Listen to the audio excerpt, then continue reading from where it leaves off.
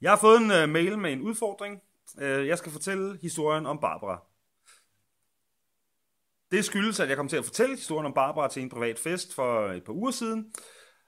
Og jeg er blevet udfordret til, at det kan jeg simpelthen ikke gøre igen. Så nu prøver vi. Se, det her det er historien om Barbara. Barbara kan rigtig godt lide rabarberkage. Hun kan faktisk lide rabarberkage så godt, så folk i den by, hun bor i, kalder hende Rabarber Barbara.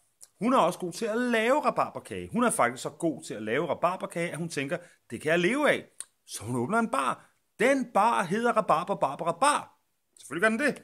Rabarber Barbara Bar er en kæmpe succes, og der kommer mange kunder, og der kommer også stamkunder, og nogle af de stamkunder er barbarer. De bliver selvfølgelig kendt som Rabarber Barbara Bar Barbarerne.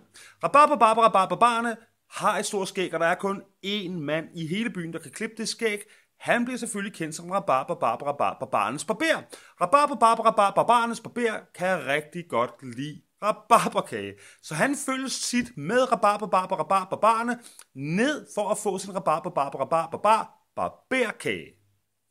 Prøv du.